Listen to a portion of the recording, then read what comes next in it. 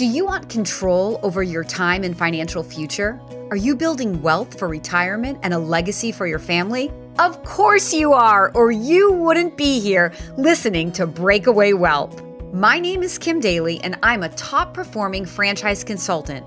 For a limited time, I am making my brand new Creating Wealth Through Franchise Ownership webinar available to you for free. Most people don't consider franchising as a wealth building vehicle, but if you give me 30 minutes, I will show you how you can mitigate the risks of starting a business leveraging proven tools as the CEO who works on rather than in the business to build and scale wealth quickly. Register for my free webinar right now at thedalycoach.com. That's the D A L Y coach.com. See you there.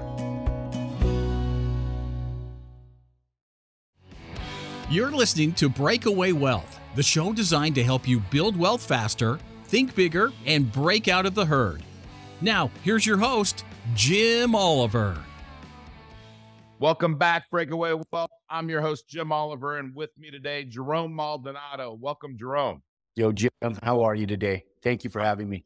I'm doing great, man. You're out, uh, not not exactly in my old stomping ground, but out there in the mountain uh, time zone. And I lived in Denver, a little bit south of Denver for 20 years. And I do miss the West, but I've gotten used to the humidity here in Florida. And for my old back, it uh, does me well, this uh, warm, uh, moist air.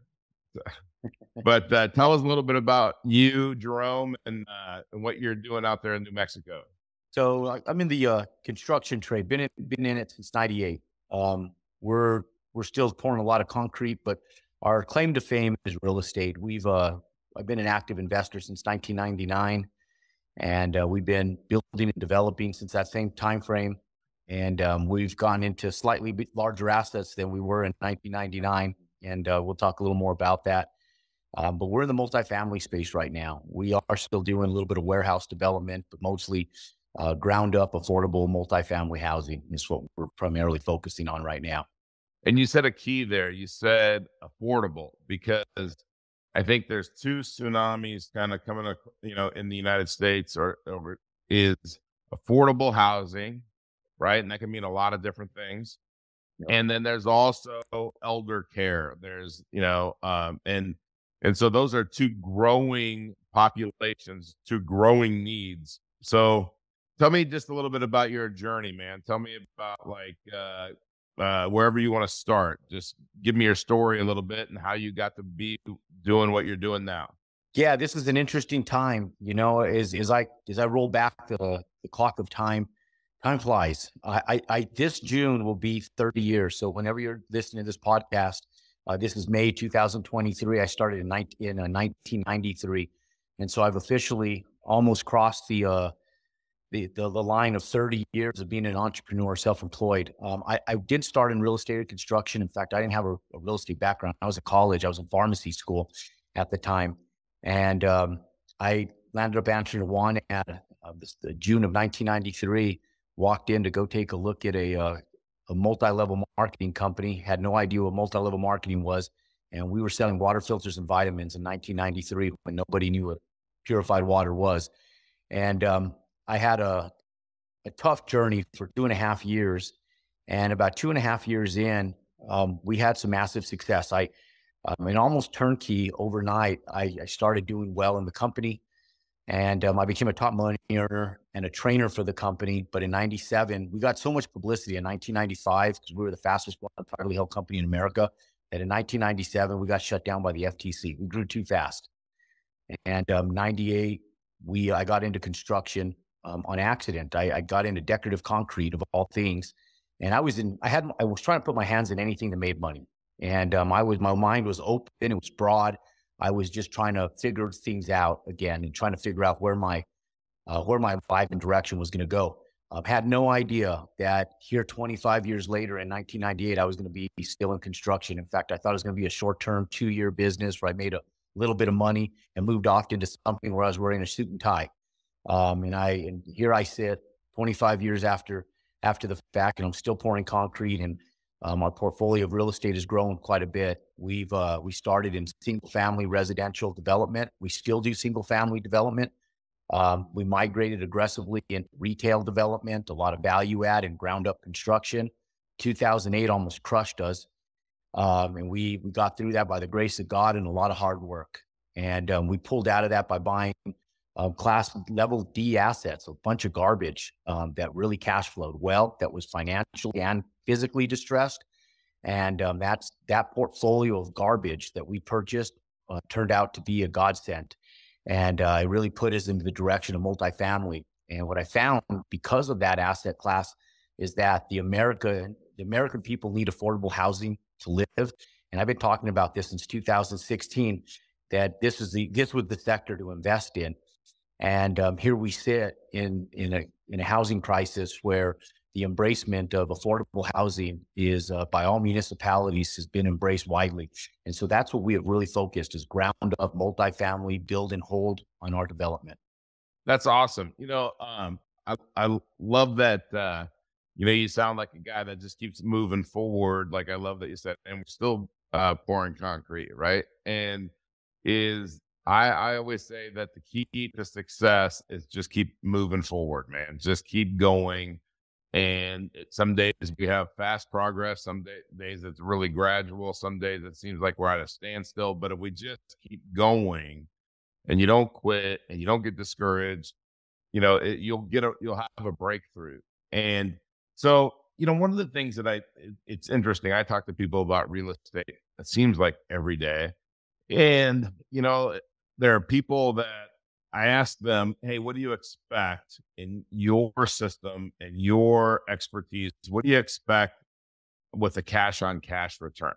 So, cash on, oh, that's how you buy, right? So, the new people that are buying right now, the cash on cash return based on interest rates and cap rates having to run parallel with them to be able to afford the debt, the cash on cash return um, is going to be great because they're going from like a 3% cash on cash return with a 3% cap rate or sub 3%, some of these guys up to like a 6 and 7% cash on cash return.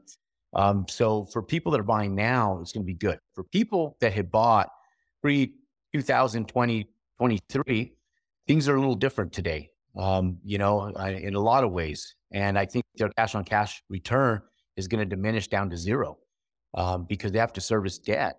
And so there's going to be opportunity for people to buy because I think that people have over leveraged themselves. Um, I think that they've financed their projects and properties um, incorrectly. Um, and I think they're paying out distributions to investors incorrectly too. And so not everybody, but it, the, the writing is, is, has already been prevalent. And I've been talking about this. Um, you know, people will go in and, and the, the bad thing about investors is that when things are good, they think that they're always going to be good, especially if they're not seasoned through the course of time where they've went through downturns. This is our third recession that we've been through in our business life.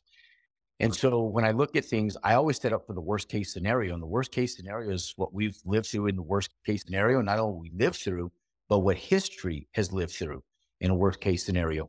And so when cap rates get compressed, it's great for valuations, but it's it's bad because people over leverage themselves. And so people with adjustable rate mortgages that um, had arms on their real estate that had three year arms, five year arms, 10 year arms, as those arms expire and the uh, and those loans mature, they're going to be leveraged at a 3% cap rate and a 7% interest rate. And so these guys have to still service the overhead of that debt. Where do they get that money from? They get it from the investors or from themselves, where they're paying out themselves distributions or cash on cash returns. They have to service that debt with it. Now, if they're paying out preferred returns on top of that, that means that when it's preferred, you're you're paying out that debt whether times are good or bad. You know, yeah. I love I love getting preferred dividends from companies, large companies, blue chop, uh, blue uh, blue blue chip stocks that are solid. But when you're doing it in real estate, it, it can be a very catastrophic um, thing, especially in times like right now. Look at it from the top going down. BlackRock right now is is halted in all their purchases right now. They can't. They're not buying real estate, you know, because of this exact reason. Yeah, you know, it's um, it's interesting because I know you know this, Jerome, but it's I find that everybody has their kind of ideal client, right? And some people will fit into your model and some people might fit into somebody else's model. But like, tell me the people that are probably best suited for your model. You know, I think that when you say best suited, uh, there's a, a wide range demographic, right? I think that everybody's suited for my model, but that's me. Um, the people that feel that they're suited for my model are the ones that relate to you. Um, and that's why every model is different. Um, I'm kind of just a raw, down to earth guy and very transparent, no bull. And if, if you're somebody that's a no bull person and real transparent, my business model works perfect for you. So I just lay it on the table and, and you can learn um, the ins and outs, black and white. Um, if you want color in your life and, um, and you want things to be fluffy and, and, and flowers for you, I'm not the guy. Um, so my business model is probably not for you because I'm going to lay it on the table thick, um, thick as skin.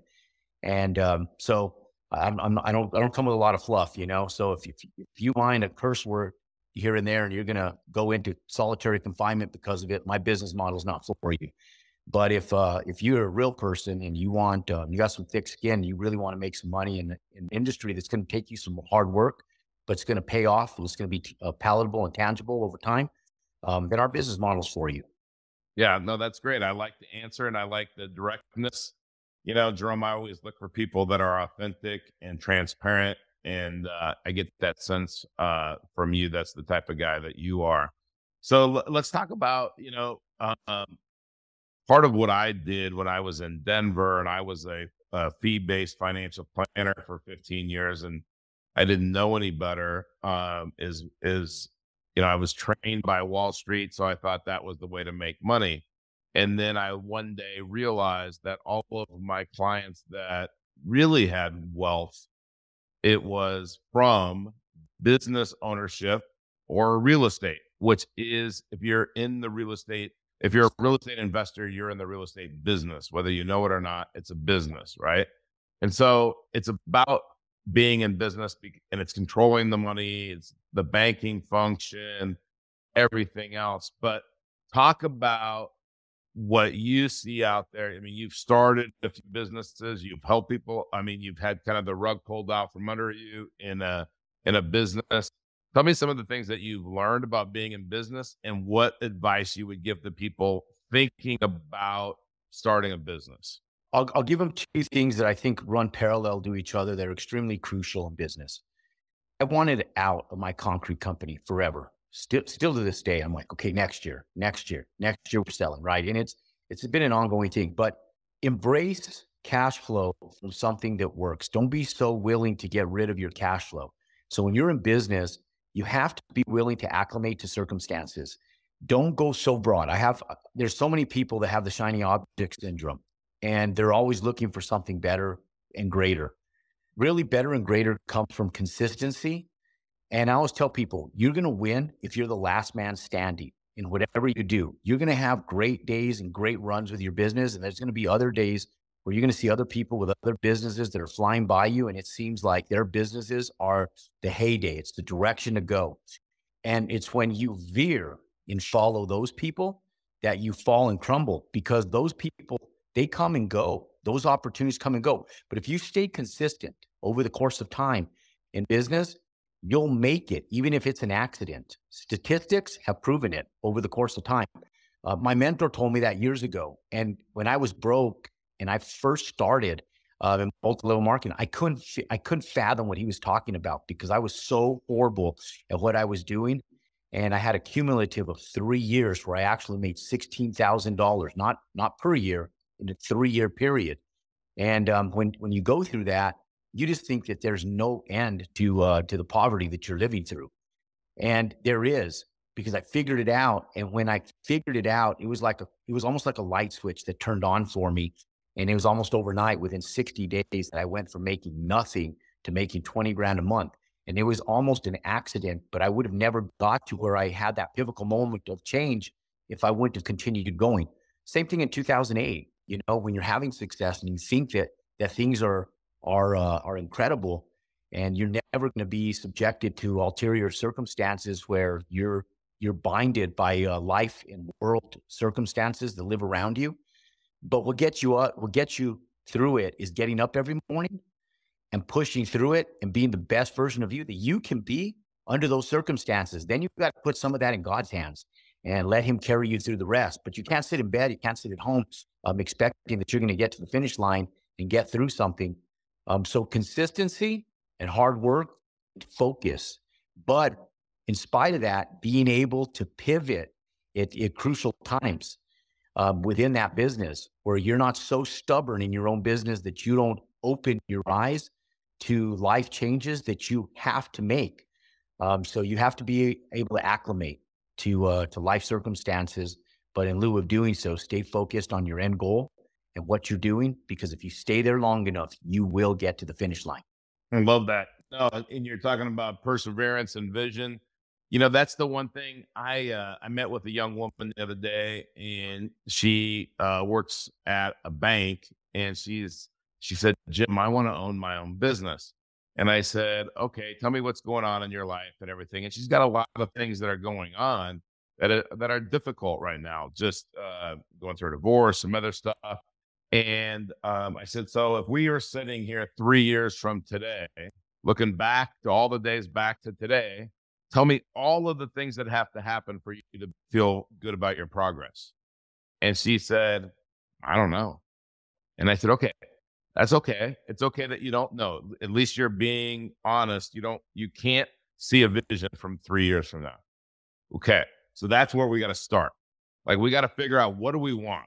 Like, like as yeah. You know, you got to start and you got to start. And what I do is I've got these little pads and I, they're like, you know, they're, they're, they're just blank pieces of paper that are laid out in a little grid and they're like my mastermind pad.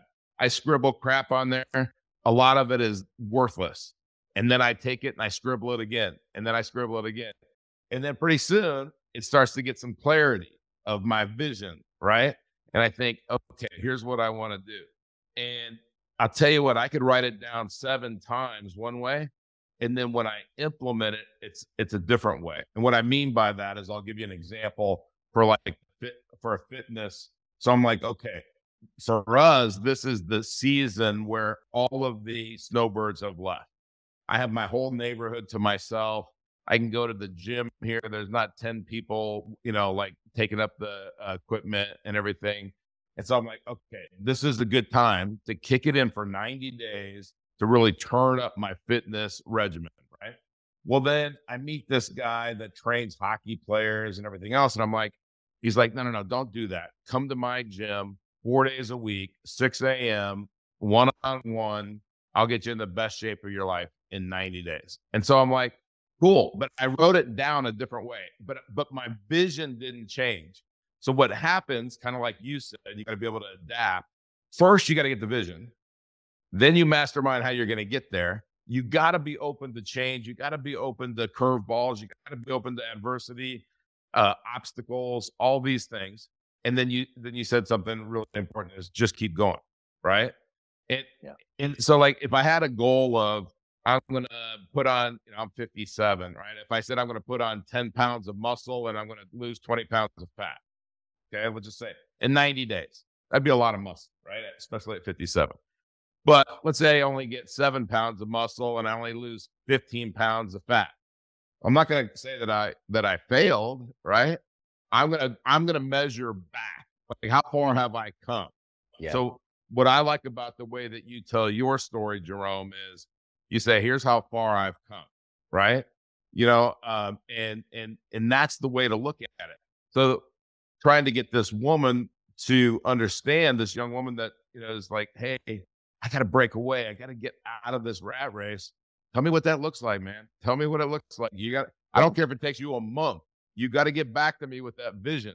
100%. 100%. You, without vision and clarity, you know, sometimes you kind of know what you want, but it's so scrambled. You just keep working and executing. You know, when we started in this uh, social space, I had no idea what we were bargaining for. We, I, I wanted to be able to raise capital to be able to scale my real estate business. I didn't know I was going to have to create a business within a business and I was going to have 18 employees running a social media platform to be able to raise capital. And it was a whole business I wasn't expecting. And now we got 18 employees running our back office. And it's just, you know, you acclimate, you know, you acclimate. I, I didn't bargain for it, but I embraced it. I was like, okay, well, shit, I need more than I thought I needed. And this, if this is going to get me there, I'm just going to, um, let's roll, you know, let's keep rolling with it. And, um, and so, you know, there's, there's sometimes there's unforeseen circumstances that you have to adapt, acclimate, move forward towards. And you just have to, that's just part of life, you know, is acclimating and, and making change. Change is good. Change is good. In spite of how people feel, they hate change. Most people, um, change is a good thing in life. But you know, you said something, and it's um, uh, there's a great song that's a Christian song. It's called Control, and it's 10th Avenue something is the name of the band. But um, you know, like if you just give that control, if you try to help other people, right, and you just give that control, like you know, like God drive the bus, you're to get where where you want to go. You're to well, you're not to get to where you think you're going, right? You're to get to somewhere bigger than where you think you're going. But the key is to keep moving forward and being able to adapt because you come to forks in the road all the time and you you just brought up something on social media and and that whole and you're right this is it's a and again, at 57, it's something that, man, I really don't understand. I can't tell you I've embraced it. I don't, I'm not really on Facebook or those things. I have people that are doing that for our business and that's necessary. But I just fired somebody on Tuesday that wasn't getting results. And then I hired a woman that I know is badass. I mean, I know she's going to do a great job. And I feel so good about it. Like I shed this skin, if I was, I'm not comparing myself to a snake, but I shed this weight on this other group that I was paying good money to. And now I'm going to pay this other person maybe a little bit more money, but she's going to get way better results. Right.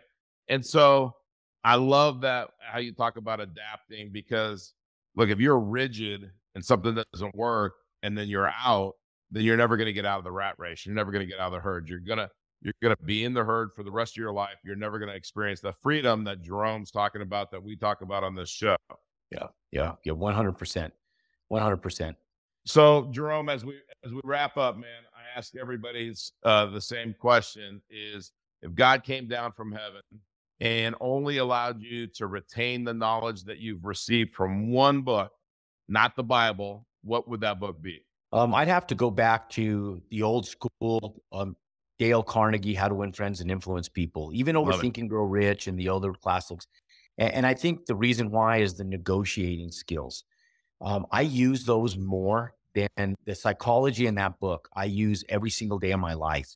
I use it with customers and clients. I use it with my kids, my marriage. I use it with municipalities and work and and uh, being able to persuade my direction. Um, it, the psychology in that book is uh, second to none. Um, it's a book I think everybody should read at least once a year. There's so much in there, and at different points in time in your life, you're going to hear what you're reading and comprehend what you're reading differently based on what you're going through in your business, your life, and everything else. I just think it's one of the all-time best books written in about business, life, um, negotiation, um, persuasion, um, you name it. I, I just think it's one of the best books. I think that would be the one book that I would probably embrace if it was the only book that I was able to uh, utilize. Perfect. Perfect. And you know what? I love what you said is go back and read it once every year because, you know, um, Tom Hopkins, he was this uh, sales trainer way back in the day. I wore out his uh, cassette. I actually called him and said, Hey, the cassette wore out. Can I get another one? And, uh, because like there was one particular, I think there were like 10 cassettes in the, in the series. And there was one that I listened to so many times. I could tell you how to sell a G, J, a JLG uh, lift like nobody's business because that was the example that they that they used. But but a champion goes back to the basics at least once a year, right? Yeah. And if you're ever struggling, you go back to the basics. And I love that you made that book recommendation because if somebody hasn't read that book, or you haven't read it for a while, grab it. It's a quick read, but you're right. There's so many big skills in that book that will make a difference in your life. And here's another pro tip pay your kids to read that book. Pay them to read it, write you a report. Pay them to read it next year and write you a report. I don't care if you have to pay them $500 to get them to read the book. It's worth it. Yeah. Yeah. I agree with you. Yeah, I like the way you said pay them because I, I have my I have problems getting my kids to read books. I, I put them on their on their counters in their bedrooms. They don't read them, and it's like you got to read that book. So Yeah. that's a good tool. I might just I might just offer to pay so they read the damn book. So so here's two things, and Nick Costco and I are both doing this. Is I picked out 15 books for my 14 year old granddaughter who lives with me to read this summer. And so I said two things. One, you could read one of my books, and then one of your books, one of my books, and then one of your books. Okay, so I'm going to pay you. I'm going to pay you a hundred dollars per book, and then if you read all 15, I'll pay. I'll double it. I'll give you a bonus. I'm going to double it all to 200 dollars a book. And you don't have to give me this long report, but what I want to know is what are the keys that you got out of that book? Now, so so uh Nick's uh gosh, I'm gonna butcher her age, but I'm thinking she's about 10, Leah. Leah read The Go Giver. She read it in one day and she wrote three pages for the summary. Okay. Now I told Nick that's pretty exceptional, right? Now, and I asked her, I, I talked to her on the phone in the last few, I think it was yesterday. And I said, Leah, what'd you learn? And she learned the five stratospheric laws of success. Now, you can't, I mean, how much would you pay to have your kid know those things? Yeah, right. more than a hundred, two hundred, five hundred dollars. Hopefully, That's my right. granddaughter's not listening to this where I just said five hundred dollars. yeah. Sorry. uh, but uh, their report off of AI. Because yeah, exactly. No more. Yeah, I told her no chat GPT. You better be. You're writing this stuff down, and I better. I mean, I know how to look at a book and tell whether it's been opened, and you know, she's probably smart enough to just go through and open every page. But, but I'll ask her some random thing on on you know page seventy seven and see if she can answer it. But I'm hoping that you got to have that. You got to you got to have that honesty and transparency. So I gave her the first book I gave her to read, Jerome, was uh, Jonathan Livingston Seagull. And, you know, you're younger than me, but when I was a kid, you had to read Jonathan Livingston Seagull, and it made an impact on me because Jonathan is obviously a seagull. What do seagulls do? Not much, right? They fly around, they eat, they, they, they, they, that's it. They don't go anywhere, right? And so he he said, "Well, I like to fly and do stunts and do all this other stuff. I want to be so much more than a seagull." And the book is about you can be so much more than what where you are, what you what people labeled you as. And you can do anything you want to do, right? You can break away from the herd. It's the original break away from the herd book that I read when I was a kid. And the audience, if you haven't read Jonathan Livingston Seagull, it'll take an hour or less. I'm a slow reader, it takes me an hour. So uh anyway, Jerome, we could probably talk all day about stuff because I can tell we're like minded and on, on a lot of things. And uh, but I just want to thank you so much for being a guest. And uh, we're gonna wrap this up like we always do with the incredible words of Earl Nightingale and the strangest secret. Take it away, Earl. Here's the key to success and the key to failure. We become what we think about. Now, let me say that again. We become what we think about. Once again, thank you so much for taking the time to hear what was shared on today's podcast. If you are looking to discover new wealth building strategies, then go to community.createtailwind.com. That's community.createtailwind.com to join our free online community and get access to free courses and in depth training videos designed to help you build wealth and break away from the herd. Click the link in the show notes to access the community today. Thanks again for listening.